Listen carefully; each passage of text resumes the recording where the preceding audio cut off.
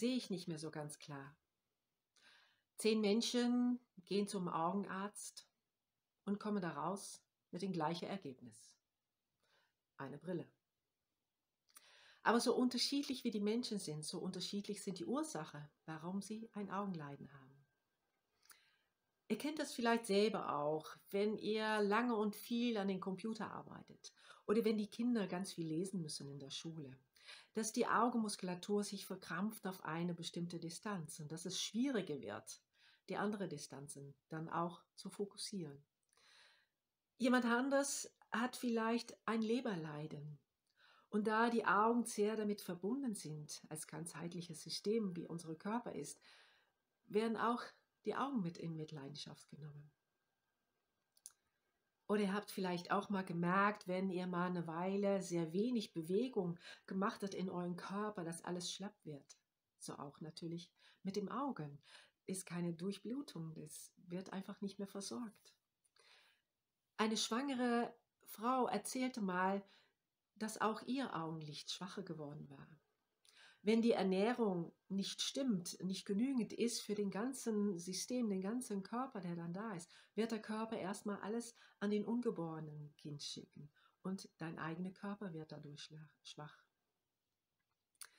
Wir hatten mal einen Teilnehmer im Kurs, der dann irgendwann mit seinem Brillenrahmen, aber ohne Gläser kam und meinte auch wirklich klarer zu sehen. Aber hatte noch so viele Glaubenssätze, Verstrickungen in sein Unterbewusstsein daran, dass er das erstmal auflösen müsste, sodass dein Körper auch glauben konnte, von ohne den Brillenrahmen kann ich auch klar sehen. Manchmal hat man auch so sein Ziel verloren in seinem Leben und wird irgendwie alles unklar, als ob man durch einen ein Nebel durchschaut. Das heißt, auf mentale Ebene, aber auch auf physische Ebene, auf körperliche Ebene wird eine Unklarheit in den Augen da sein. Und ein Teilnehmer fiel es wie Schuppen von den Augen, als er feststellte, es ist viel wichtiger, an meinen Selbstwertgefühlen zu arbeiten, als festzuhalten an den Verstrickungen, an den Emotionen von Ereignissen, die früher mit ihm passiert waren. So vielseitig wie die Ursachen sind für den Augen, so ganzheitlich geht der Norbekow-Methode darauf ein, um die Selbstheilkräfte, deinen ganzen Körper wieder in Form zu bringen. Und auf Basis von zehn Prinzipien, zehn Arten von Übungen machen wir das. Wir fangen an, uns zu visualisieren, vorzustellen, wie was aussehen kann und fügen dazu unsere Gefühle, unsere Gedanken dazu, sodass wirklich wir im Hier und Jetzt uns vorstellen können, wie das ist, wieder ganz klar zu sehen, wieder ganz gesund da zu sein. Fügen dazu noch die Möglichkeit, um mit Wärme und angenehme Frische unsere Gefäße zu erweitern und wie, zu stimulieren, dass alles wieder flexibler wird. Das machen wir natürlich auch mit unserer Gelenkgymnastik, so dass auch wirklich der ganze Körper wirklich wieder in Bewegung, in Lebenskraft kommt. Das machen wir natürlich auch dann nochmal speziell mit Augenübungen, äh, wo der Fokus darauf ist, wann ich dann Ruhe auch brauche, wann ich dann auch Aktivität mache.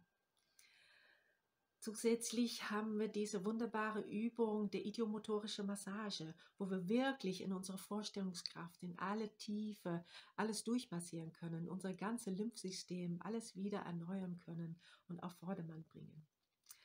Auch so machen wir das mit der gynäkologischen, urologischen Massage, wo wirklich die Lebenskraft wieder hervorgerufen wird und wie ein Verjüngungskur durch den ganzen Körper geht. Wir nutzen natürlich auch reinigende, entgiftende Effekte durch mit den Leber und mit den Nieren zu arbeiten. Aber nicht nur auf körperlicher Ebene machen wir eine Entgiftung, einen Reinigungseffekt. Wir arbeiten auch mit der Vergebung, sodass auch Emotionen da sich reinigen können auf mentaler Ebene. Und zuletzt nutzen wir natürlich unsere wunderbare Übung der Oktave wo wir mit den Kräften, die wir gesammelt haben, die wir jetzt wissen, die da sind, mit der Dankbarkeit für das Leben, mit der Anbindung von unserer Seele, wirklich uns auf den Weg bringen können zu unseren Zielen, die wirklich für uns gemeint sind. Und ich weiß, das sind nur ganz kurze, jetzt theoretische Erklärungen. Aber ich lade dich ein auf den kostenfreien Schnupperkurs die circa zweieinhalb Stunden dauert, dich anzumelden, wo du dann wirklich auf praktische Ebene auch reinspüren kann, was es heißt, in diesen, mit diesen Technik zu arbeiten, als eventuelle Vorbereitung für den 5-Tage-Workshop. Ich würde mich freuen, dich da zu sehen. Deine Karina.